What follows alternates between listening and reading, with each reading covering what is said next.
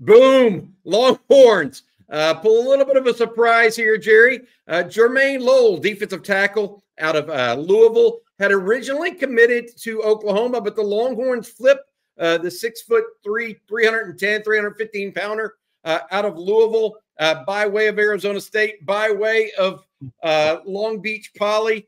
Uh, this is a guy that was extraordinarily productive earlier in his college career, had some injuries, transferred to Louisville, played more than 400 snaps for, for Louisville last year.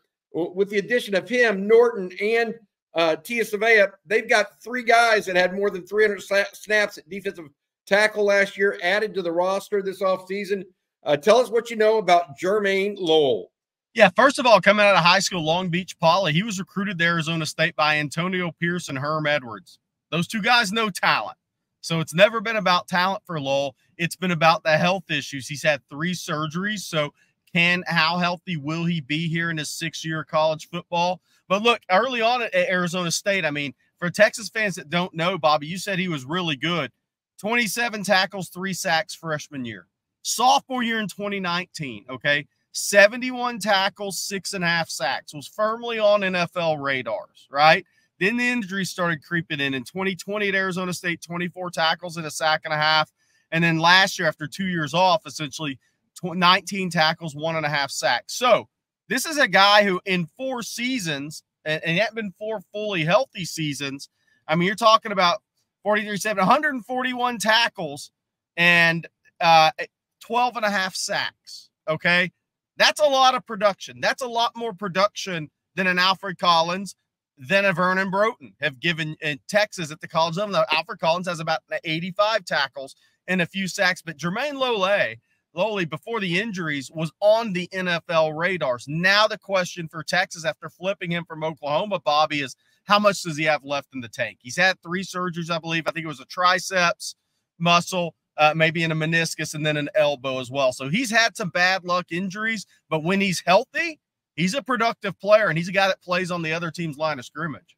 Well, it's very interesting. Texas uh, going after Dominic Williams, uh, Oklahoma going after Dominic Williams and Lowell, as well as other guys. And it may be Lole. I want to be clear about that. Yeah. I, I, apologize if we're mispronouncing his la- name uh, at this point, but we're just now learning more about him uh, as as well, Gerry. Uh, look, uh, Texas, not. I, I, we talked about this. Uh, they they do not stop recruiting. Uh, just because something happens or it looks like it's situations bleak, they keep recruiting to the whistle. Yep. And this is just another example of that with them going out and uh, finding somebody in the portal that pr- has been committed to Oklahoma. I mean, just committed a week ago. Right. I mean, what, what do you think about that? Well, look, it's recruit through the whistle. We talk about it all the time with Steve Sarkisian and the staff.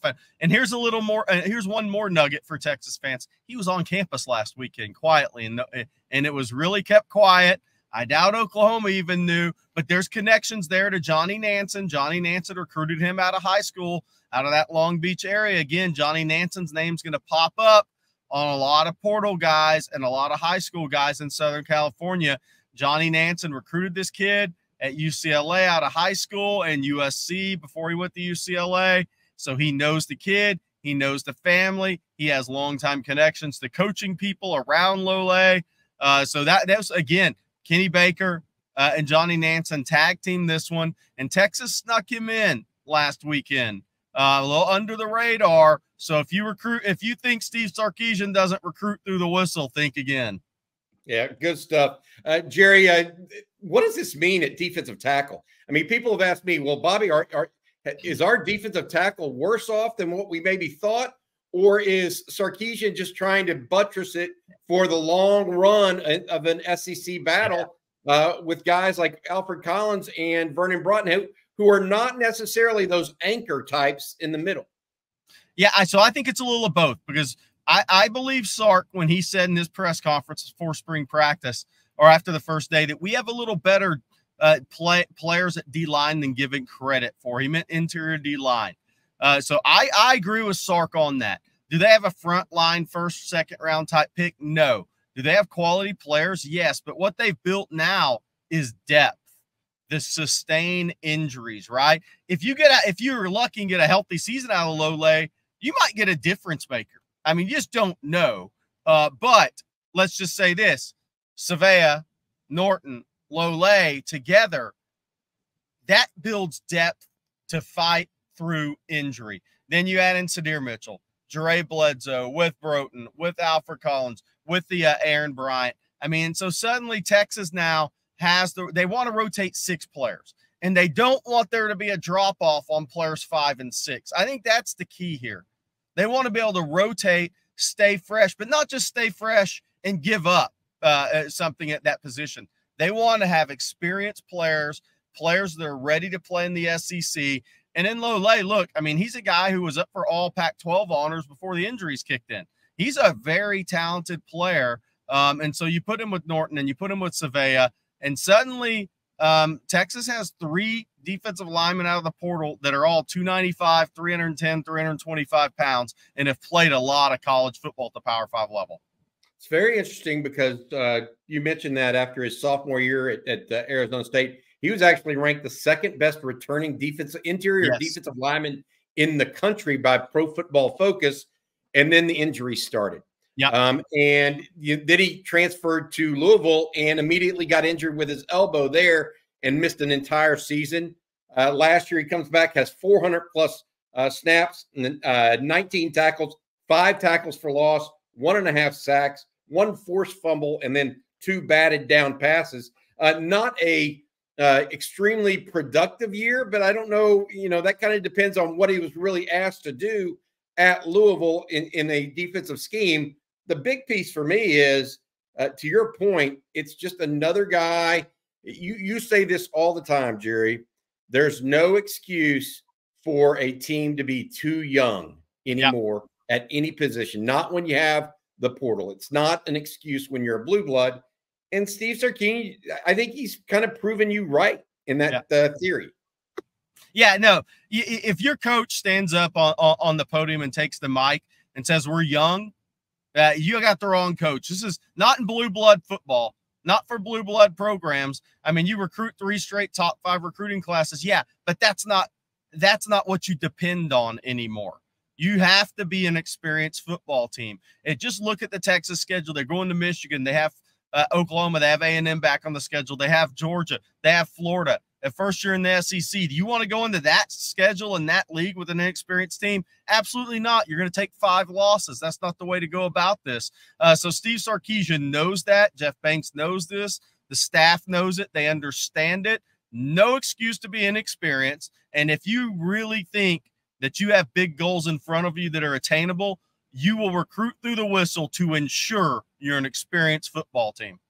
Uh, Gerry, they may not be done. I mean, right. I, we talked about this. I mean, they they they can still look at, at other players at other positions, young players too now that they think may be good bounce backs. Uh, they've got 82, 83 scholarships now, I guess. Uh, we could be seeing them still going after more players in the future too, and perhaps saving one or two as grad transfers yep. coming yep. out uh, in the summertime. So I guess we'll see exactly what Texas decides to do uh, the rest of the way. But clearly uh, addressing the defensive tackle rotation this offseason. I mean, geez, uh, three new guys all coming in, keeping Sydir Mitchell. You mentioned the importance of that as well, but J- Jermayne Lole, I think that's a better way to pronounce it than I was. Uh, Jermayne Lole, uh, Bill Norton, and Tia Savea all coming in with 300 plus snaps, kind of just unheard of, to be honest yeah. with you. Uh, because you, you always think, is there enough going to be enough in the portal for Texas to really make hay a defensive tackle. This also uh, gives Texas, I mean, a portal class where they're now bringing in nine starters yeah. from other teams this past year. Uh, Louisville was a good team last year, Gerry. Yes. They weren't yes. great, but they were good. This is Clemson, two from Alabama.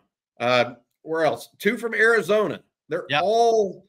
Uh, it, it's very interesting to me exactly how this is playing out uh, right now for the University of Texas and what they've done in the portal, and even to a degree where college football is going uh, right now. Longhorns uh, not uh, coming up short, in my opinion. And uh, you know what? Do- losing Dominic Williams probably did hurt, but it also may have uh, sprung free Jermayne Lole, too. Yeah. And Longhorns capitalize on that because their ties, you mentioned Johnny Nansen and his ties uh, to the family there uh, back when he was being recruited. All right, Gerry, any last thoughts uh, before we uh, get moving on this one? Congratulations, by the way, to Jermayne and his family. Now, look, uh, on Texas football fans, thanks for continuing to support us. Uh, we're over 45,000 subscribers. Couldn't do it all without you. And this one's live from Viera, Florida. I haven't done a, a video from Viera, Florida, uh, but this is where this one's coming from. So, everybody have a great day and congratulations to Sarkisian, Kenny Baker, uh, Johnny Nansen, because Jermayne Lole, if he's healthy, really good football player. All right, Jermayne, uh, from Gerry Hamilton, myself, as well as a bunch of Texas fans out there, hook them, bud.